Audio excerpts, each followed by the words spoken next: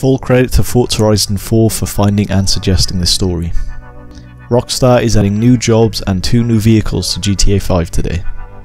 The Benefactor Terrorbyte is a fully rigged command unit that can handle the operations for your vast criminal network from anywhere in the state.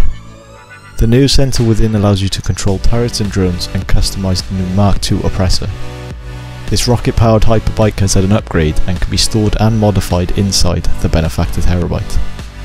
The Nerve Center also lets you access 6 new client jobs, opportunities to earn money through hacking and securing corporate data or stealing precious jewels.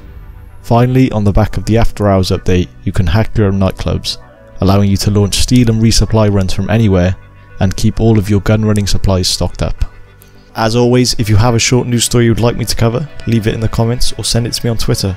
I might just make a video on it, of course giving you full credit for the suggestion.